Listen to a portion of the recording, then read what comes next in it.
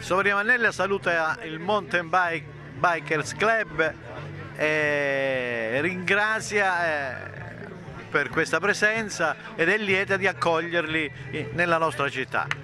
Nella città di Soveria Mannelli, la città che ha dato luogo all'epilogo della spedizione dei mille, una città che è, è nota in tutta Italia per i suoi trascorsi culturali.